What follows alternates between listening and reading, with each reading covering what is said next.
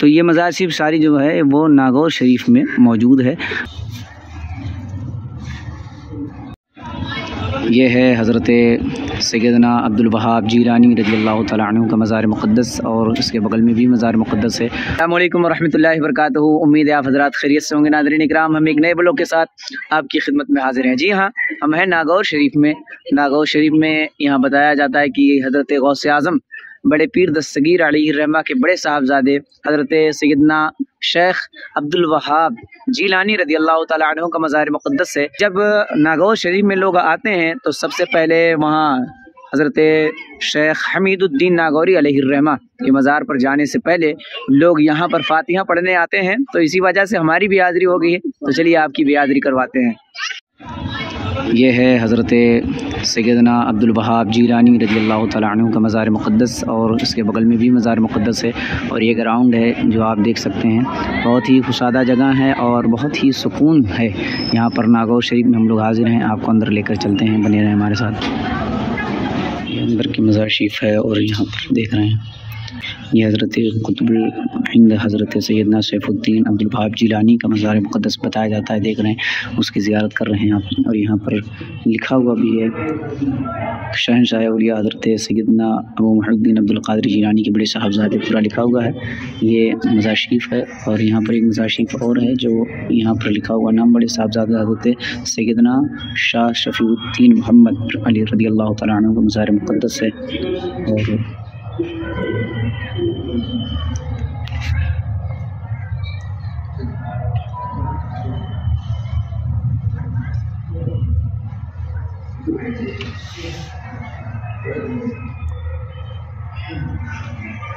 इसके दीवार पर भी लिखा हुआ है जैसा कि देख सकते हैं अबू मोहम्मद महिउद्दीन अब्दुल कादरी जिलानी इबन हज़रत सैदना अबू सालह, मूसा जंगी दोस्त इबन अब्दुल अब्दुल, अबू अब्दुल्ला इबन हज़रत सैदना यहया जाहिद इबन हज़रत सैदना मोहम्मद इबन हज़रत सैदना दाऊद इबन हज़रत सैदना मूसा सानी हज़रत सैदना मूसा इबन सैदना हज़रत अब्दुल्ला सानी हज़रत सैदना अब्दुल्ला। उसके बाद हसन और उसके बाद हज़रत इमाम हसन रदी अल्लाह तु फिर सैदना अमीरमिन शेर खुदा रदी अल्लाह तु फिर उसके बाद ये हज़रत सैदना शाह नसीरुद्दीन रहमा का शजर नसबनामा है।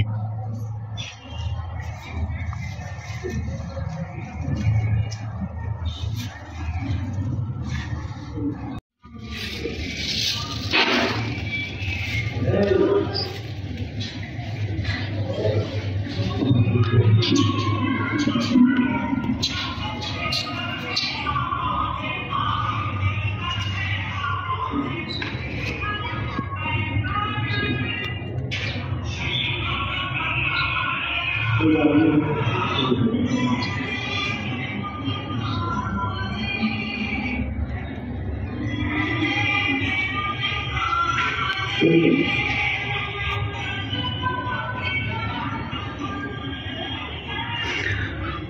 लोग बाहर निकल गए हैं और चलते हैं दूसरी दरगाह पे, जो यहाँ पर बहुत सारी दरगाहें हैं, जैसा कि आप ख़ुद भी देख सकते हैं। और ये दरगाह शरीफ, बिल्कुल नागौर शरीफ, बड़े पीर ही के नाम से ये दरगाह जानी जाती है। और टेंपो वाले ने भी, ऑटो ने भी यही कहकर बैठाया था कि हम बड़े पीर की बारगाह में जा रहे हैं। तो अब चलते हैं दूसरी दरगाह ये जो है। और इस मज़ार शरीफ पे जो है यहाँ दरगाह शरीफ पे अपनी मर्ज़ी से कोई भी सलाम पढ़ सकते हैं। किसी भी, की तरह की कोई पाबंदी नहीं है। ये हुक्म है सज्जादा नशीन का, कोई दिक्कत नहीं है। यहाँ भी एक मज़ार शरीफ है तो चलिए आपको अंदर लेकर चलते हैं और दिखाते हैं कि किसका मज़ार शरीफ है यहाँ पर। इधर से अंदर जाएँगे हम लोग। यहाँ भी कुछ मज़ारात हैं। बारह दरी के मज़ारात यहाँ पर बने हुए हैं। और यहाँ बारादरी ये जो मज़ार हैं, यहाँ आबाद हैं देख सकते हैं आप।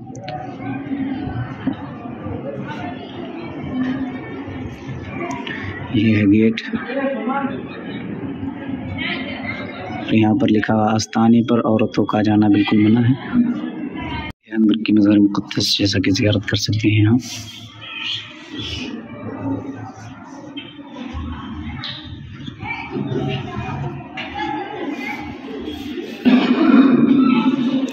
यहाँ पर गेट भी है, एक ही गेट है और एक ही गेट से अंदर और बाहर आपको आना जाना रहता है। तो चलिए आपको हम दूसरी दरगाह की ज़ियारत करवाते हैं, बाहर लेकर चलते हैं आपको।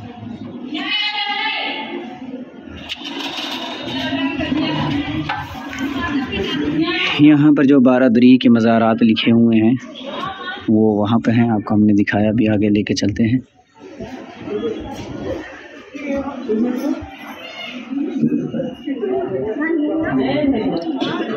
ये हैं बारादरी के मज़ारात, और यहाँ भी कुछ मज़ारात हैं। यानी यहाँ पर बहुत ज़्यादा मज़ारात दिखाई दे रहे हैं, और ये पुराना किला है। इसका नाम काला गुंबद है, सकबरा वहाँ पर लिखा हुआ है, जैसा कि देख सकते हैं आप भी। ये देख रहे हैं, ये मज़ार शरीफ यहाँ भी बना हुआ है। चलिए आपको दिखाते हैं ये किन की मज़ार है। और इसे मज़ार शरीफ की यहाँ भरमार है, देख सकते हैं, बहुत ही मज़ार शरीफ है। भरमार से मुराद ये नहीं है कि यहाँ की बेहरमती की जा रही है, भरमार से ज़्यादा है। यहाँ देखिए लिखा हुआ है कि या शेख अब्दुल्कादर जीलानी शैल्ला उसका पीर तरीक़त हज़रत सैद जुल्फ़ार अली जीलानी अलकादरी सज्जादा नशीन थे पहले यहाँ के, उनका इंतकाल हुआ, उनका मज़ार शरीफ यहाँ पर बना हुआ है, जो बिल्कुल हु बहू आप देखेंगे बाहर से तो ये गौस आज़म रदी अल्लाह तु के मज़ार की तरह बिल्कुल टू कापी दिखता है, जैसा कि आप ख़ुद भी देख सकते हैं।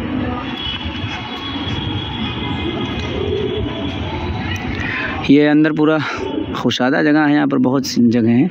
और अब हम लोग चल रहे हैं बाहर की तरफ़। सारे मज़ारात की ज़्यारत कराई, यहाँ पर भी मज़ार हैं, देख सकते हैं। और अंदर भी हमने आपको ज़्यारत करवाई है। तो ये मज़ार शरीफ सारी जो है, वो नागौर शरीफ में मौजूद है, जो बड़े पीर के नाम से ये मशहूर है। लोग जब ऑटो पर बैठे हैं तो ये बड़े पीर ही के नाम से यहाँ पर लेके आया है। तो अल्हम्दुलिल्लाह, मज़ार शरीफ की हमने आपको ज़ियारत करवाई और मज़ार शरीफ आपने देखा। अब हम लोग बाहर निकल चुके हैं, अब जा रहे हैं हज़रत शेख हमीदुद्दीन रहमा की बारगाह में। तो चलिए फिर वहाँ पर मुलाकात करते हैं। तब तक के लिए हमें इस ब्लॉग में इजाज़त दीजिए। अल्लाह हाफिज़।